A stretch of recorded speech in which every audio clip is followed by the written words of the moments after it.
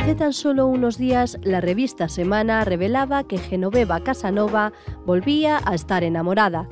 El afortunado, un ganadero sevillano con el que llevaría varios meses de discreta relación y con el que celebró sus 46 cumpleaños en un conocido restaurante de Madrid.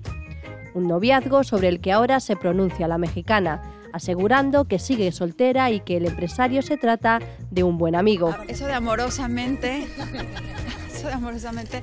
No, es, es mi amigo de toda la vida, lo conocen perfecto. Ha estado aquí 20 veces con nosotros en cosas familiares toda la vida, desde 23 años formando parte de la familia. O sea que.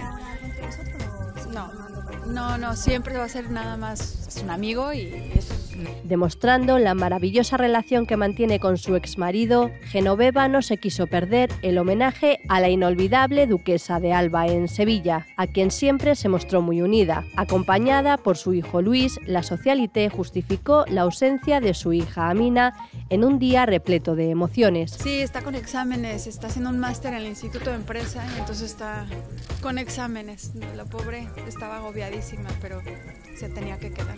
Sin embargo, y después de desmentir que esté enamorada, Genoveva ha evitado pronunciarse sobre la supuesta ruptura de Paloma Cuevas y Luis Miguel.